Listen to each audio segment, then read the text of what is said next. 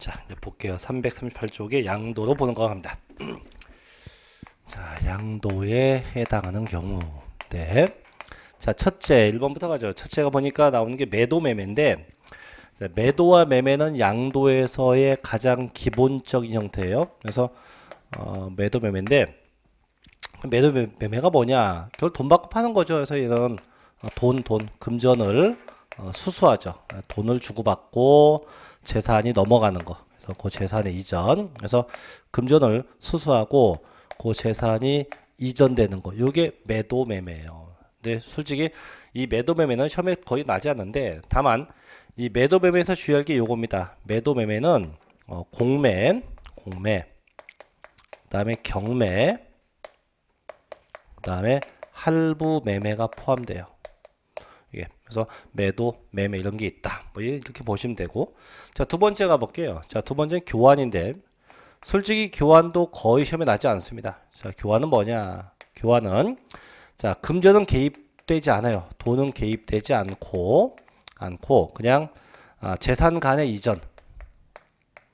재산 간의 이전에서 내 거하고 네 거하고 맞바꾸자. 그래서 재산 간에 맞바꾸는 게, 요게 교환인데, 자, 교환도 이제 결론만 얘기하면 교환하게 되면 이제 양자 모두 양자 모두 양자 모두 취득과 양자 모두 양도에 해당이 돼요. 그래서 양측 모두 다 취득과 양도가 다 걸립니다. 어, 이런 거예요. 이거 뭐냐면 이제 자 보죠. 갑시감 갖고 있는 건물이 있고 자 을을 갖고 있는 자 토지가 있다. 이걸 당사자 간의 합의에서 바꿔요. 바꿔요. 맞바꾸게 되면 이제 갑의 입장을 보면 자 그럼 자기 건물을 줬죠. 주고 얘한테 땅을 받아서 땅을. 땅도 경제적 가치가 있어요. 받아왔으니까 뭐가 돼요? 양도가 돼요. 받아왔으니까. 근데 받아와 보니까 받아온 게 땅이에요. 그럼 갑의 입장은 없었던 땅이 생겼으니까 그 자체가 뭐가 됩니까? 취득. 그래서 양도와 취득이 다 해당된다는 얘기죠 그럼 얘 입장을 보죠 그럼 얘는 거꾸로 자기의 땅을 갑에게 주고 갑에게 뭘 받았어요 건물 받아왔어요 건물 그럼 건물도 경제적 가치가 있죠. 있으니까 뭐가 됩니까? 양도. 대신 없었던 어, 건물 생겼으니까 뭐가 돼요? 취득. 이렇게 하면서 교환하면 양측 모두 다 양도와 취득이 다 해당되게 된다. 이게 교환이에요. 자, 세 번째 가볼게요. 자, 3번은 조심해야 됩니다. 3번인데, 자, 3번은 별표. 자, 제목이 법인에 대한 현물 출자예요. 자, 출자는 이제 투자한다 이런 얘기인데, 현물, 현금이 아닌 현물, 물건 가지고 출자한다. 현물 가지고 투자한다. 이런 거죠. 그래서 얘는, 얘는 역시 금전이 아니에요. 돈이 아닌, 돈이 아닌 일정한 재산을 투자. 그래서 일정한 재산을 투자하고, 하고 그 대가로 주식을 받는 거예요. 주식을 배정받는 겁니다. 그래서 돈 대신에 아, 재산 투자하고 대가로서 뭘 받아와요? 주식을 받아요. 그럼 대체 어디가 사냐 결론 다 보죠. 얘는 반드시 법인에 가서 해요. 법인. 또는 어디 가서 조합에 가서 해야 돼요. 법인 또는 조합에 가서 하되 다만 조합은 조심할 게 조합은 반드시 자기 지분 자기 지분이 초과가 돼야 돼요. 반드시 자기의 법정 지분이 초과가 돼야 돼요. 다만 출자에도 얘는 안 되는 게 있어요. 자, 자기 자기 개인 사업체에서 내 사업체, 자기 개인 사업체에 출자하면 이건 안 돼요. 자기 개인 사업체는 절대 해당이 없대요. 이런 거예요. 이게 뭐냐면 자 A 법인이 있어요. 그 다음 갑이 있어요. 원래는 갑이 이 회사에 돈을 투자하죠. 돈 투자하고 여기로부터 뭐 주식을 받아오면 이게 이제 일반적인 현금 투자예요. 근데 갑이 돈이 없대요. 갖고 있는 거는 부동산밖에 없다. 그래서 갑이 자기의 부동산을 투자하고 투자하고 그 땅값만큼 자 주식을 받아오는 게 이게 현물 출자예요. 그럼 갑은 어, 지금 넘어가고 받았으니까 뭐가 돼요? 양도가 돼요. 대신 이 회사는 없었던 땅이 생겼지 그죠? 그 자체가 뭐가 됩니까? 취득. 그래서 이렇게 해서 양도와 취득이 전부 다 파생되게 돼요. 자, 이게 현물 출자인데 이건 좀 읽어볼게요. 자, 보죠. 339쪽에 현물 출자입니다. 자, 법인 1번 현물 출자란 회사의 설립이나 신주 발행 시 현금 이외에 양도 소득세 과세 대상 자산을 출자하고 그 대가로서 뭘 받아요? 주식이나 지분을 배정받는 것을 의미합니다. 그래서 유상전에 해당한다. 2번. 자, 법인이 아닌 조합의 출자도 유상양도에 해당해요. 하지만 법인이 아닌 자기 개인 사업체에 출자하는 것은 양도로 보지 않습니다. 그래서 반드시 법인 혹은 조합만 되지 절대 내 사업체, 자기 개인 사업체는 절대 해당함이 없다. 이렇게 보고 자, 네 번째가 4번. 4번은 이제 무슨 변제? 대물 변제입니다. 대물 변제.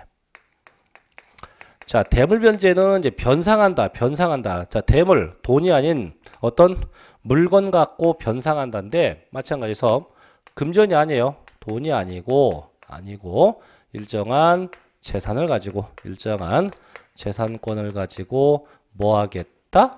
변상하겠다. 일정한 재산에 의해서 변상하는 게 대물 변제입니다. 그래서 대표적인 거 크게 두 가지만 생각하면 돼요. 첫째 손해배상. 또 하나는 위자료 이런 것들. 결국은 돈 대신에 대신 갚아 나가는 거죠. 그 합의금조로 뭐 부동산 줬다든가 뭐 위자료조로 줬다 이런 건데 제가 얘도 읽어볼게요. 얘도 처음 잘 납니다. 그래서 이 두 개는 약간 조심해야 돼요.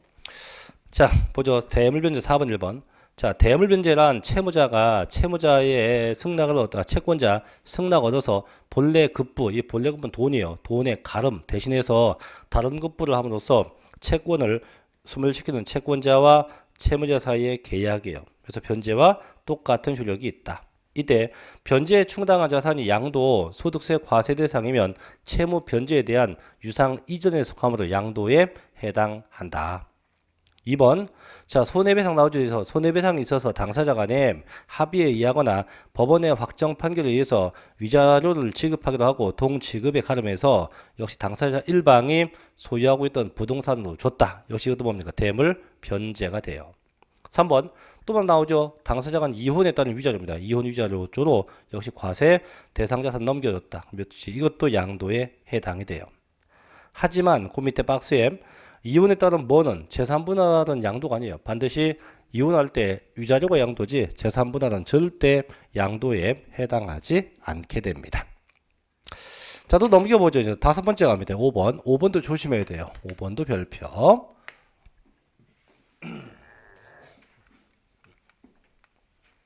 자, 5번은 뭐냐? 5번은 제목이 부담부 증여입니다. 부담부 증여.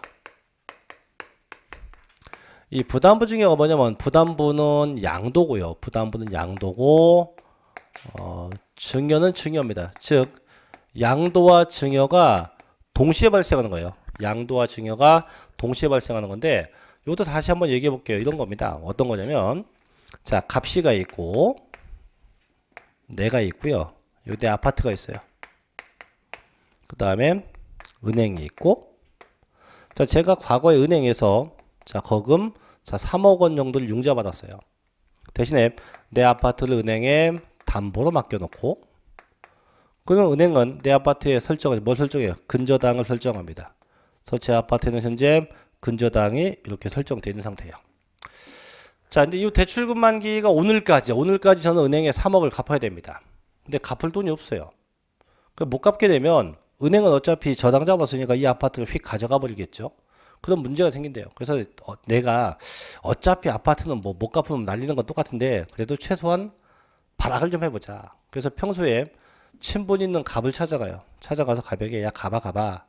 내가 갖고 있는 아파트를 너에게 그냥 줄 테니까 너 받을래? 라고 해요. 근데 아무것도 알지 못하는 갑이 이게 웬 떡입니까? 아파트를 준대요. 얼마짜리 아파트인데? 5억짜리 아파트 이것도. 준대요. 헐 주문 받지. 그래서 얘가 받는데요. 뭐가 됐어요? 증여가. 얼마짜리 아파트가? 무려 5억짜리 아파트가. 밑에 받는 값을 뭐라 합니까? 수중자. 준 나를 뭐라 합니까? 증여자. 이렇게. 그래서 준자와 받은 자입니다. 준자 받은 자.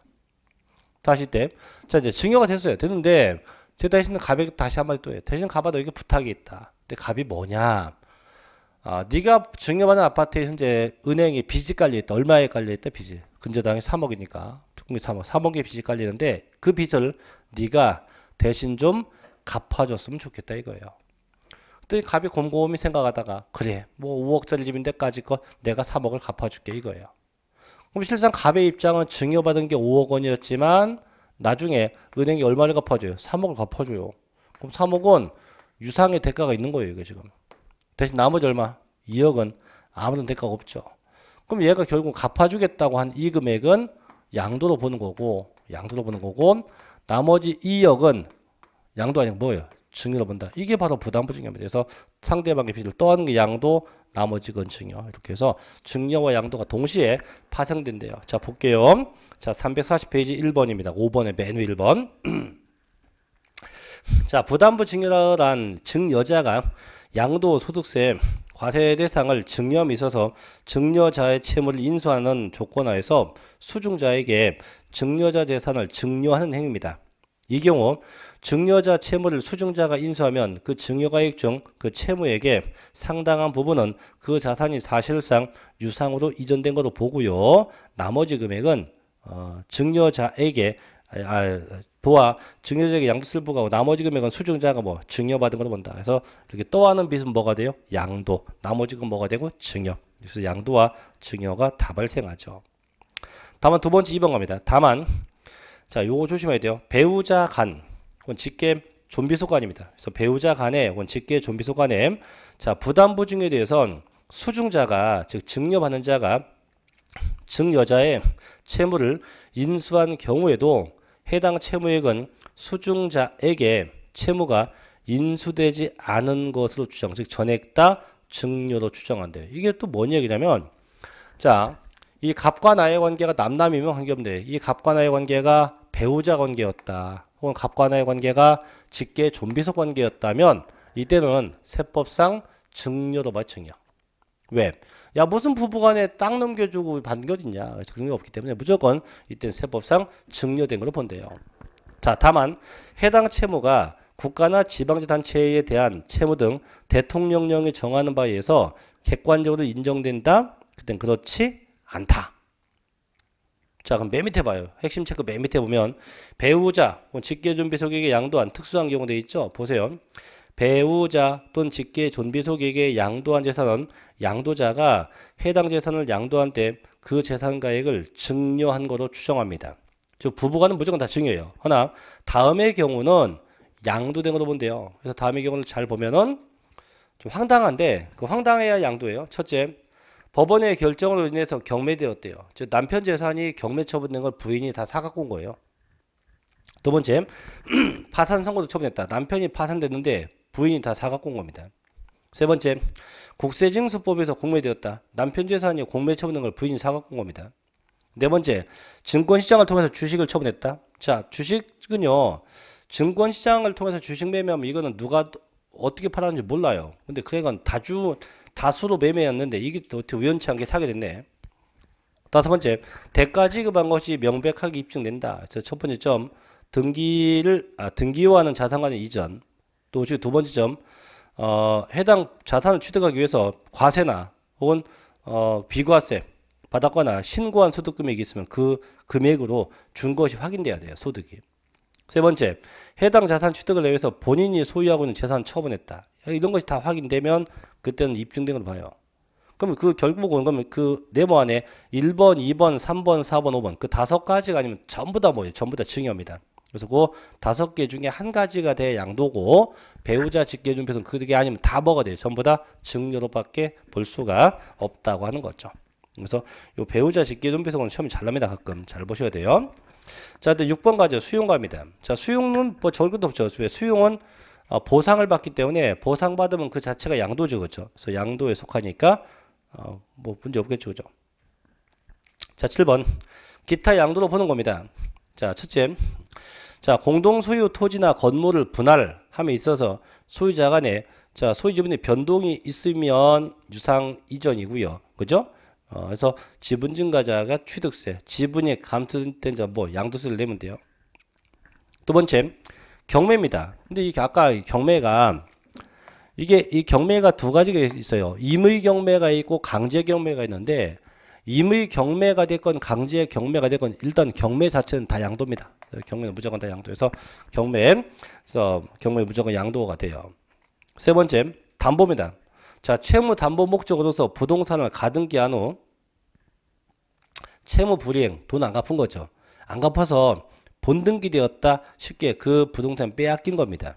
빼앗기면 그때 뭡니까? 양도 된 걸로 봐요. 그래서 담보는 양도가 아닌데 훗날 돈을 갚지 못해서 담보가 그 채권자에게 넘어가면 그때부터는 양도에 해당하게 된다는 겁니다. 양도에 속하게 된다 이거죠. 네 번째, 자 토지의 하필 목적은 교환도 양도입니다. 아까 교환했죠, 그죠? 교환. 다섯 번째, 조성한 토지의 일부분을 공사비 대가로 줬대요. 공사비 대가 일종의 뭡니까? 대물 변제죠. 그래서 이렇게 해서 여기까지 양도에 속하는 것들. 특히 1번부터 5번까지는 정확하게 좀 봐주셔야 돼요. 웬만하면 어, 3, 4, 5번은 꼭 기억합니다. 3번, 4번, 5번은 반드시 좀 기억을 해 놓으셔야 돼요. 자, 이번에 양도로 보지 않는 것도 보죠. 양도에 해당하지 않는 경우 봅니다. 양도에 속하지 않는 경우 볼게요.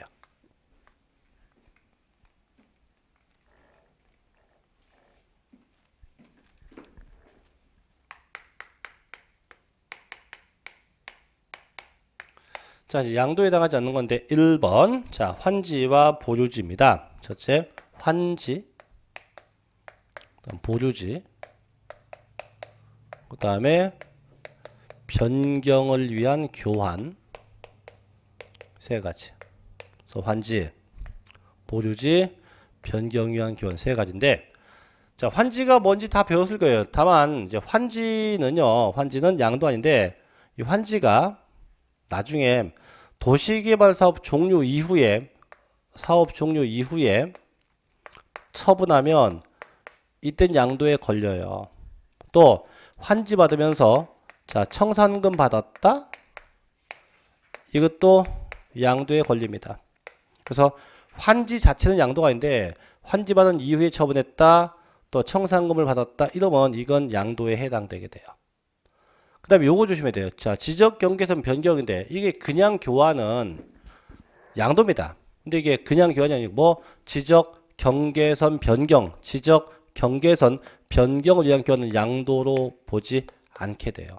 읽어볼게요. 자, 환지입니다. 맨 밑에 1번.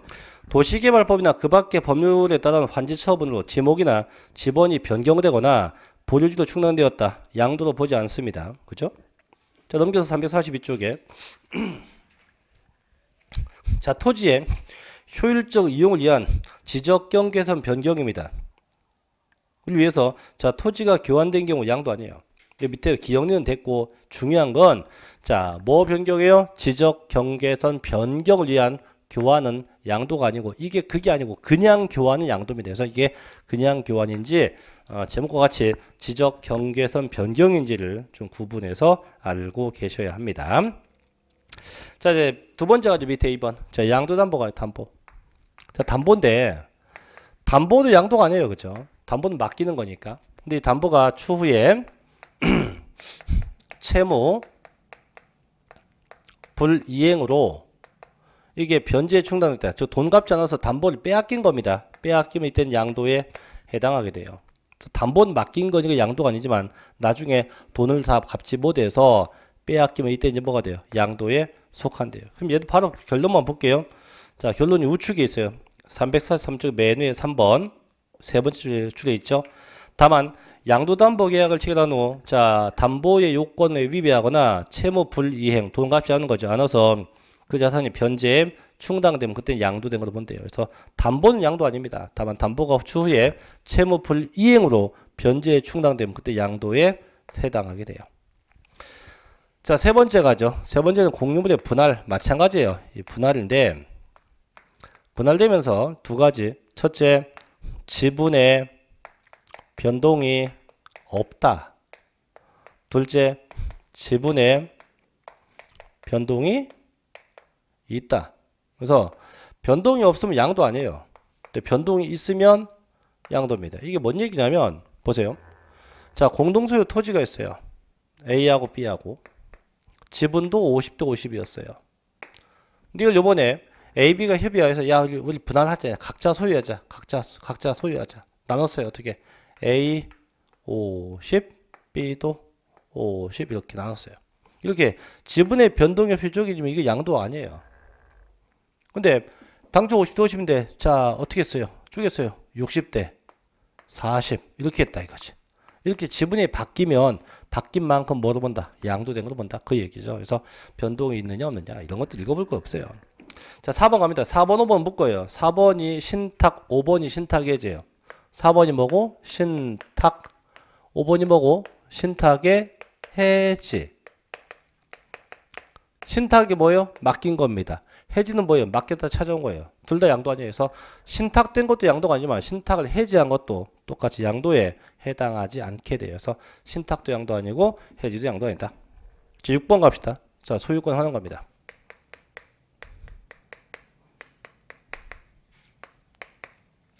자, 환원도 두 가지예요, 이게. 첫째, 매매 무효. 매매 무효가 되면 양도 아니에요, 이거. 근데 이게 매매 무효가 아니고 적법 계약의 해제. 적법한 계약의 해제. 적법한 계약이 해제되면 이때 양도가 됩니다. 그럼 이게 뭔 얘기냐? 자, 보죠 일단. 자, 매매 무효의 소입니다. 매매 무효는 이제 민법상 사기, 강박 이런 거예요. 그래서 그런 거에 의해서 그 매매가 원인 무효로 판시되어 환원될 경우 양도에 해당하지 않습니다. 다만 원인 무효 등의 사유가 아닌 적법하게 성립된 계약, 즉 정상 매, 정상적으로 매매 계약이 된 거예요. 된 거에 의해서 그 계약이 당사자 간의 합의에 의해서 해제됨으로써 당초 소유자에게 환원되면 이런 또 다른 양도가 돼요. 즉 결국은 매매 무효인지 적법한 계약의 해제인지를 구분하면 되겠죠. 자, 일곱 번째 기타 양도로 보지 않는 겁니다. 첫째, 자 합자회사에 토지를 출자했다가 퇴사함께 찾아가요. 찾아가면 자 본인 재산의 변동이 없죠, 그죠? 찾아갔으니까 양도 아니겠죠. 주번 두 번째, 자 조합의 토지를 현물 출자하면 양도 아까 봤어요. 근데 반드시 출자자의 조합 지분비를 초과가 돼야 돼요. 그래서 자기의 법정 지분은 양도 아니고 자기의 법정 지분이 초과돼야만 그때 양도에 속하게 됩니다. 자, 또 넘겨서 세 번째. 또 있어요. 이혼으로 인해서 당사자 간에 재산분할 청구권 됐대요. 자, 아까 이혼할 때 위자료면 양도인데 재산분할 청구는 양도에 해당하지 않게 돼요. 그래서 청구권 청구함으로써 이혼 당사자 간에 재산의 소유권이 이전된 경우 양도에 해당하지 않게 됩니다. 네 번째, 배우자나 직계 존비속에게 재산 양도했대요. 그럼 아까 배웠죠. 뭐예요? 증여입니다. 무슨 부부간에 뭐 부동산 팔고 삽니까? 말도 안 되는 얘기죠. 증여입니다. 그 다음에 다섯 번째. 자, 매매 계약 체결 후 잔금 청산 전에 좀 이따 볼 건데요. 양도세는 매매가 되면 대금이 청산돼야 매매된 거예요. 잔금이 청산돼야 매매가 된 거예요. 근데 지금은 잔금 청산 전이에요. 돈을 다 주고받기 전에 계약을 깨면 계약금만 두 배 돌려주면 끝납니다. 끝나기 때문에 양도로 볼 일이 없죠. 6번. 자, 소유 재산을 공매 경매로 인해서 제출되겠다. 즉 자기 재산을 자기가 공매 경매로 제출되겠다. 그럼 얘도 양도로 볼 일이 있다 없다? 없다는 거죠. 그래서 여기까지 해서 양도에 속하는 것, 속하지 않은 것 각각 구분이 됐네요. 그래서 다시 한번 조심할 게 어떤 게 양도고 어떤 게 양도 아닌지 분명하게 알아두셔야 될 겁니다. 자, 여기까지 일단 정리하시고요. 자, 그 다음에 이제 넘어갑시다. 넘어가서 이제 양도 시기로 가볼게요. 자, 346쪽 갑니다. 근데 왜 자꾸 뒷골 땡기고 졸립지? 이상하네.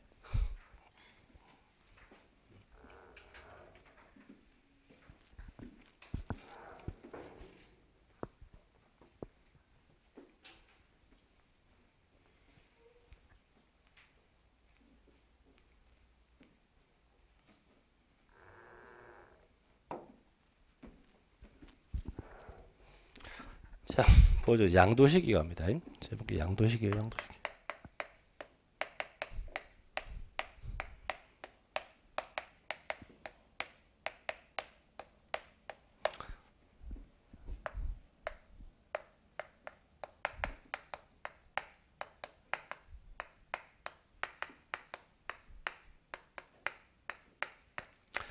제목이 양도식이에요. 이제 언제 양도했냐, 또 취득 시기는 언제 취득했냐 이건데 문제는 얘는 된데 취득 시기가 지난번에 제가 취득세에서도 배웠어요. 취득세에도 취득 시기가 있었거든요. 있는데 조심할 건 둘 다 내용이 똑같잖아요. 이게 안 같아요, 이게. 안 같아요. 똑같잖아요. 왜 안 똑같냐면 자, 복습해 볼게요. 취득세는 취득 시기가 왜 있었냐면 취득이 돼야 돼. 취득이 확정이 되면 그 취득이 확정된 날부터 쭉 와서 며칠 내? 60일 내요. 60일 내 이 기간에 뭐 하려고 신고하고 납부하게 하려고 취득 시기를 둔 거예요. 취득 시기를 여기때 준 거예요, 이때. 이때 둔 겁니다. 자, 근데 야 그럼 양도세는 그럼 양도세도 신고 납부하려면 양도 시기만 있으면 될 거 아니야? 맞죠? 양도세도 양도했다? 그럼 양도하면 다음 주에 보겠지만 양도 1일 속하는 그 달의 말부터 말부터 하나 둘 2개월 내 2기간에 신고하면 되거든요. 근데 양도세는 이제 신고도 얘들 하려면 계산해야 돼요. 계산인데 취득세는 무조건 차등세이기 때문에 문제 없어요. 뭐 내가 뭘 샀든 간에 뭐 산 금액에 대해서 몇 프로만 하면 끝나는데 양도세는 세금 계산을 할 때 사요. 네, 취득해서 양도하죠. 이 기간이 있는 이게 뭐냐면 보유기간인데 이 보유 기간에 의해서 여러 가지 변수가 발생해요. 그래서 왜 세율도 바뀌기도 하고 세율도 바뀌어요. 그 다음에 어, 공제가 되기도 하고 안 되기도 해요. 그 다음에 다음 시에 보겠지만 비과세가 되기도 하고 안 되기도 하고 또 면제가 되기도 하고 안 되기도 해요. 여러 가지 어, 문제가 발생이 돼요. 그래서 양도세는 세금 계산을 해서 신고를 하려면 반드시 일단 뭘 따져야 돼? 보유기간을 따져서 계산을 해야 돼요. 그래서 정확하게 언제 취득해서 언제 양도한 건지 이 내용을 어, 구분해야 한다 이런 얘기예요. 그래서 보면은 자 보세요. 양도 시기 가면 맨 위에 본문 가요. 자, 양도 소득세 과세 대상인 부동산 등의 거래는 계약 체결, 중도금, 잔금의 지급 후 소유권 이전 등기 등의 과정을 거친다. 이러한 거래 과정 중 어느 시점을 양도나 취득 시기로 보는가에 의해서 귀속 연도, 장기 보유 특별공제, 세율, 적용에 필요한 보유기간 계산, 비과세 및 감면 요건 등 내용에 상당한 영향을 주기 때문에 그 시기 구분은 매우 중요하대요. 그래서 아, 언젠가 이제 하나씩 볼게요. 자, 첫째 1번 갑시다. 1번. 매매 등 일반적 경우에요. 자, 매매인데 대원칙은요. 돈 다 준 날 언제? 대금 청산일. 대금 청산일.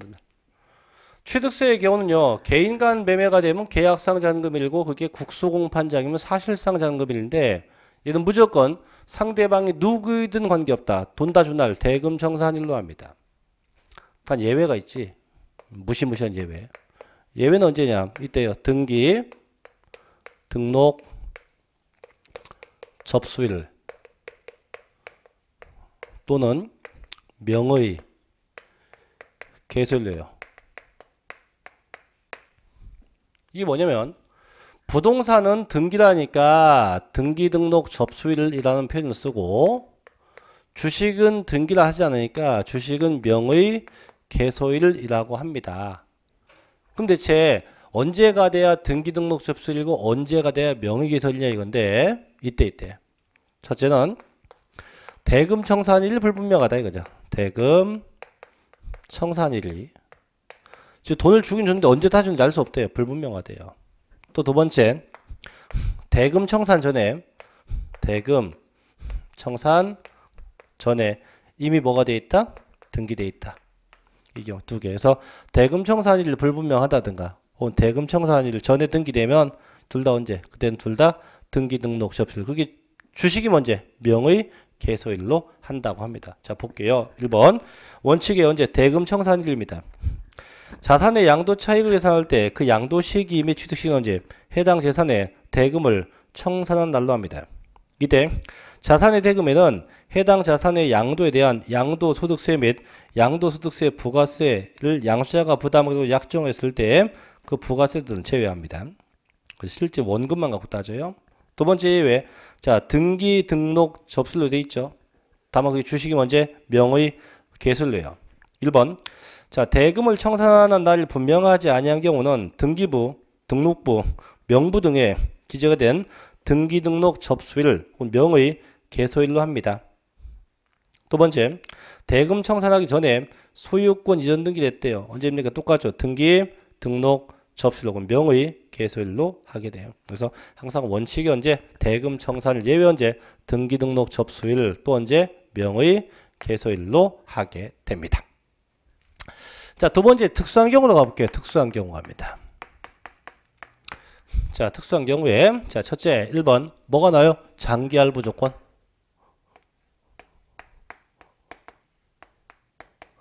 자, 장기 할부는 조건이 일단은 그 할부 기간이 1년 이상이어야 돼요. 또 할부 횟수는 2회 이상이에요. 2회 이상. 그래서 1년 이상이고 2회 이상인데 그래서 장기 할부 되면 얘는 하나, 둘, 셋 중에 가장 빠른 걸로 합니다. 가장 빠른 건데 그게 언제냐? 첫째는 소유권 이전 등기 접수일 둘째 인도일 셋째 사용 수익일 이셋 중에서 이 셋 중에서 가장 빠른 날로 합니다. 그래서 소유권 이전 등기 접수일과 인도일과 사용 수일 중에 가장 빠른 건데 조심할 게 이게 순서가 아니에요. 1, 2, 3이 아니고 뭔지 몰라. 이게 경우의 수이기 때문에 그냥 적어놓은 것 뿐이지 얘가 1번, 2번, 3번 아닙니다. 그래서 이 중에서 가장 빠른 날로 한다는 겁니다. 그래서 장기할부 조건 나오죠. 밑에 소유권 이전 등기 접수 1과 인도 1과 사용 수익 된 날 중에 이제 가장 빠른 날로 하도록 되어 있습니다. 자, 두 번째 갑니다. 2번 우측 페이지 있죠? 자기가 건설했다. 2번 자가 건축인데 이거 원칙만 기억하면 돼요. 그래서 자가 건축은 사용 승인서입니다. 사용 승인서 교불로요. 언제요? 사용 승인서 교불로 합니다. 보면 자 건축허가를 받아서 자기가 건설한 건축물은 이제 사용 승인서 교부일로 합니다. 다만 사용승인서 규불 전에 사실상 사용하거나 사용승인을 얻으면 이제 그 사실상의 사용을 혹은 언제, 임, 언제 임시 사용 승인 일종 빠른 날로 한다고 되어 있는데 하나만 기억해요. 언제 사용 승인서 교부일로 합니다. 자, 세 번째 상속과 증여입니다. 자, 상속과 증여인데 상속은 취득세가 똑같아요. 상속은 취득세가 똑같아서 언제 상속 개실료요. 상속 개실은 사망한 날, 사망한 날. 자, 증여는 달라요. 이게 취득세는 증여의 경우 증여 계약일인데 양도세는 언제때요? 증여 받은 날. 증여 받은 날. 그래서 증여 계약일이 아니고 증여 받은 날로 합니다. 그래서 취득세 상속은 상속계에 실고 증여 이제 증여 받은 날로 합니다. 증여 받은 날로 하도록 되어 있대요. 증여 받은 날. 됐죠? 자, 네 번째로 갑시다. 시효 취득인데. 자, 시효 취득도 조심해야 돼요. 이 시효 취득도 취득세하고 달라요. 자, 저희가 시효 취득은 두 가지가 있어요. 등기부 시효 취득이 있고 점유에 의한 취득이 있는데 저희는 이 시효 취득이요. 이 시효 취득이 점유에 의한 겁니다. 점유에 의한 시효 취득만 인정합니다. 그럼 얘가 뭐였냐면 자, 제일 첫째 부동산을 점유하죠. 몇 년 지나가요? 20년 지나가면 되는 거죠. 이게 취득이에요. 그럼 지난번에 배웠던 이 취득세의 경우, 취득세는 이 시효가 끝난 날, 이거죠. 시효 완성일, 20년 지나간 날, 시효 완성일을 취득 시점으로 봐요. 시효가 완성된 날을 매매 시점으로 봅니다. 시효 완성일을. 근데 지금 하는 양도세는요. 양도세는 이때요. 양도세는 점유한 날. 그래서 이 점유 개시일납니다. 점유 개시일로요. 점유 개시일로. 그래서 취득세는 언제가 되고 20년 지나간 날 양도세 언제가 되고 점유 개시일로 합니다. 점유 개시일로 하게 돼요. 자, 좀 볼게요. 자, 20년간 소유 이사로 평을 공인하게 부동산을 점유한 후 등기함으로써 소유권 취득했다. 언제입니까? 점유 개시일로입니다. 언제? 점유 개시일로 하게 된다고 되어 있어요. 자, 다섯 번째 가볼게요. 이제 수용되는 경우 갑니다. 수용되는 경우. 자, 수용되면 뭘 받아요? 보상받아요. 그래서 보상받는데 수용도 세도 셋 중에서입니다. 뭐냐면 셋 중에서 가장 빠른 날로 가요. 셋 중에서. 첫째가 뭐냐면 첫째가 대금 청산일을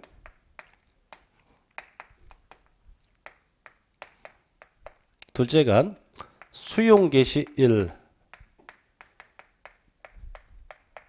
셋째가 소유권 이전 등기 접수일 소유권 이전 등기 접수일 그래서 일명 저희가 대수소라고 해요. 대수소. 그래서 대금 청산된 날, 수용 개시된 날, 소유권 이전 등기 접수일 요셋 중에서 가장 빠른 겁니다. 얘도 순서가 아니에요. 그래서 그냥 대수 소 중에서 가장 빠른 겁니다. 그래서 요 중에서 언제 가장 빠른 날 이렇게 되죠. 그래서 얘도 날이고 자 6번도 가죠. 자 6번 완성되거나 확정 안 된 건데요. 자 이거 뭐냐면 자 아까 매매가 되면 원칙이 대금 청산일이었잖아요. 그죠? 근데 지금은 대금은 다 준 거예요. 줬는데 문제는 뭐냐면 목적물 자체가 존재하지 않는 거죠. 즉 여섯 번째는 미완성인데 자 대금이 청산됐어요. 다. 근데 돈 다 줬으면 분명히 어떤 목적물이 존재해야 됩니다. 근데 목적물이 없어요. 존재 안 한대요. 안 하면 이건 아직 매매가 된 게 아니에요. 그래서 언제냐? 나중에 목적물이 뭐된 날? 완성된 날. 이게 완성되거나 이게 확정된 날로 합니다. 완성되거나 확정된 날로요. 완성되거나 확정된 날로 합니다. 그래서 어 원래는 이 목적물이 있으면 대금 청산이 되지만 돈 다 줬지만 아직 완성이 안 되면 그게 언제 완성되거나 확정된 날로입니다. 보존. 자, 완성되거나 확정되지 아니한 자산을 양도 취득했으면 언제입니까? 끝에 있죠? 어, 대금을 청산한 날까지 목적물이 완성되거나 확정되지 않았다면 그 목적물이 완성되거나 확정된 날을 그 양도일, 그 취득일로 해요. 그래서 항상 원칙이 대금 청산일이지만 그때까지 목적물이 없으면 그게 완성되거나 확정된 날로 한다. 일곱 번째가요. 자, 환지인데 이는 두 가지가 있죠. 첫째는 환지 받으면서 면적에 변동이 없는 게 있고 둘째 환지 받으면서 면적에 변동이 있는 게 있어요. 있다는 거는 증환지 혹은 감환지입니다. 그럼 내가 면적에 변동 없이 환지를 받았으면 그 땅은 언제 취득한 거냐? 당초 취득한 날. 당초. 환지 전. 환지 전 취득을 해서 당초 취득일로 해요. 당초 취득한 날. 근데 환지 받으면서 면적에 증감이 있었다. 증감이 있었다. 자, 증감이 있으면 이 증감된 거는 이때요. 환지 처분. 환지 처분. 공고일에 다음 날 증가되거나 감소된 걸로 봐요. 증감에서 환지 처분 언제 공고대 다음 날 증가되거나 감소 된 걸로 봅니다. 그래서 결 면적의 변동이 없어 이제 당초 취득한 날 환지 전이 되지만 면적의 증가 감소 있으면 언제 환지 처분 공고대 다음 날로요. 환지 처분은 공고대 다음 날로 하도록 되어 있습니다. 자, 보세요 1번. 자, 도시개발법 혹은 그 밖의 법률에 따른 환지 처분으로 인해서 취득한 토지는 언제 환지 전 토지의 취득을 해요. 다음 2번. 교부하던 토지 면적이 환지 처분에 의한 면적보다 증가 감소되면요 언제 환지 처분 공고가 있은 날의 다음 날로 하도록 돼 있네요. 자 거기까지 보시면 됩니다. 8번 주식 주식은 의미 없어요. 주식은 끝에 있네. 100분의 50 이상 양도한 날이 된다. 뭐 이렇게 보면 되고. 자 9번 갑시다. 자 기본 통치에 의한 것도 있죠. 첫째 1번 매매계약서 등에 기재된 잔금 지급 약정을 보다 앞당겨 받거나 늦게 받았다. 항상 원칙이 아까 이제 대금 청산일이기 때문에 앞서 받건 늦게 받건 다 언제입니까? 대금 청산일 로 합니다. 두 번째, 자 부동산 분양 계약을 체결한 자가 해당 계약에 관한 모든 권리를 양도했대요. 땡땡 그 권리의 취득 시기는 해당 부동산을 분양받을 수 있는 권리가 확정된 날 쉽게 얘기하면 내가 직접 분양받으면 당첨된 날로 하고요. 그게 아니고 타인에게 돈 주고 샀다. 언제입니까? 대금 청산 일로예요. 그래서 내가 직접 받은 건지 남에게 돈 주고 산 건지. 세 번째. 자, 경매 받았어요. 경매. 끝에 있네요. 경매 대금 완납한 날로 합니다. 경매 대금 완납일로 합니다. 다섯 번째, 네 번째, 잔금을 어음 받았대요. 음. 끝에 있네. 어음 결제일로 합니다. 어음 결제일로 하게 돼요. 5번.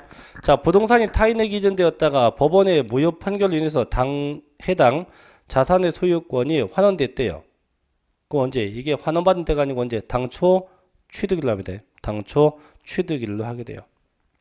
6번 재개발이나 재건축했대요. 끝에 있는 언제 재개발 재건축 전입니다. 재개발 재건축 전 부동산의 취득일로 하게 돼요. 네, 그런 것도 있고 자 이제 우측에 세 번째 갑시다. 취득식 의제 갑니다. 자 의제라는 얘기는 인정한다 또 뭐뭐로 본다는 강제 규정이에요. 그래서 부동산 같은 거는 옛날 예적에 산 거면 다 이때 산 거예요. 85년도 1월 1일에 산 걸로 봐요. 무조건. 85년도 1월 1일 무조건. 주식은요. 옛날 예적은 다 언제다. 86년도 1월 1일에 산 걸로 봅니다. 주식은. 그래서 부동산은 85년도, 주식은 86년도로 봅니다. 그래서 부동산과 주식. 자, 보죠. 1번. 토지와 건물, 부동산에 관한 권리, 기타 자산은요.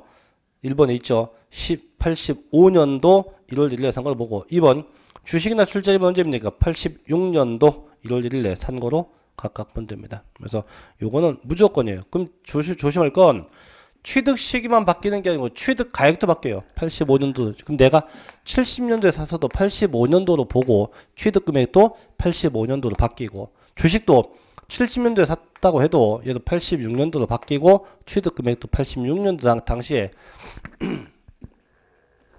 평가액을 바꿔서 바꿔서 계산해야 한다. 여기까지 뭐 양도 시기에 대한 얘기를 좀 봤는데 그래서 밑에 보니까 얘뭐 양도세하고 취득세하고 비교되어 있는 거 있죠. 다시 한번 살펴보시고요. 자, 이제 넘어가면 5절인데 자, 351쪽이 5절인데 요거는 이제 밥을 먹고 와서 어, 밥 먹고 와서 5절 양도세 계산부터 하도록 하겠습니다. 밥 먹고 갑시다.